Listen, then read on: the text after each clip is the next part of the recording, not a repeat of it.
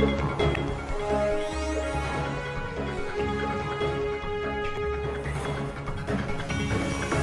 KPK Tipikor. Saluran informasi lintas Indonesia.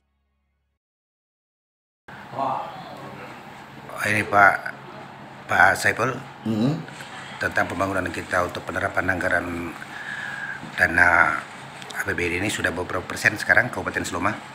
Jadi sampai dengan saat ini eh, kegiatan yang ada di dinas PU eh, sudah selesai semua. Tinggal lagi memang titik nol yang belum. Jadi kalau secara keseluruhan sudah terkontrak dan semuanya selain yang lima artinya tinggal titik nol ini tapi sudah kontrak itu eh, sudah berjalan sesuai dengan rencana dan insya Allah sampai dengan eh, nantinya akan selesai sesuai dengan rencana. Pak. Oh ini permasalahan ada di rilis berita bahwa menyatakan Pak Saiful kalau itu terbilang asal jadi tidak diterima.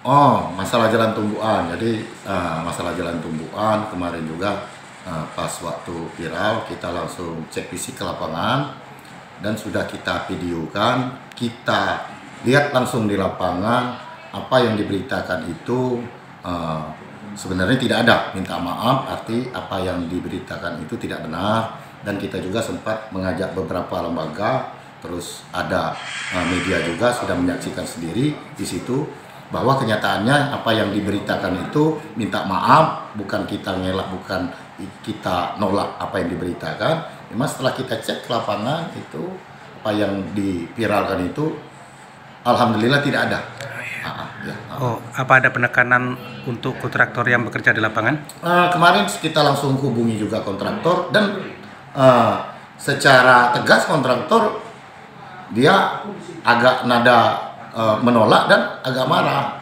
apa yang dituduhkan eh, yang dipiralkan itu karena memang benar sesuai fakta di lapangan apa yang diberitakan itu memang benar nggak ada.